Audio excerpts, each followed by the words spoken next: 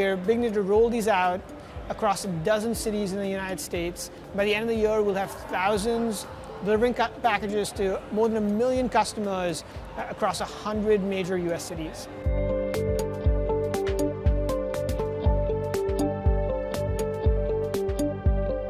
The Amazon's an incredibly important partner to us. It, it, allowed us to think really big around a, a, complete reset of what is a commercial vehicle, what is a fleet vehicle.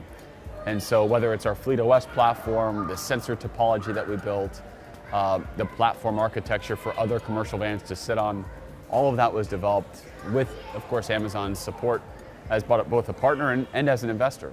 Every single detail of this vehicle has been thoughtfully and carefully designed for our drivers.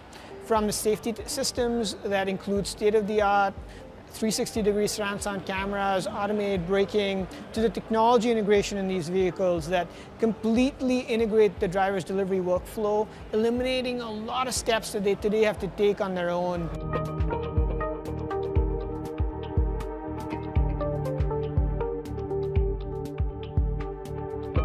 We're ramping as quickly as we can. Uh, Amazon is excited to get these on the road, or excited to electrify the fleet. Uh, so we're, we're going to be having thousands of vehicles on the road this year and tens of thousands of vehicles on the road next year.